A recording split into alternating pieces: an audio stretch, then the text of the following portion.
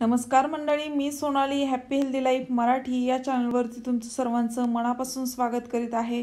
मैत्रिणींनो आज आपण पाहणार आहोत की मासिक पाळी येण्यासाठी काही घरगुती उपाय मी तुम्हाला सांगणार आहे.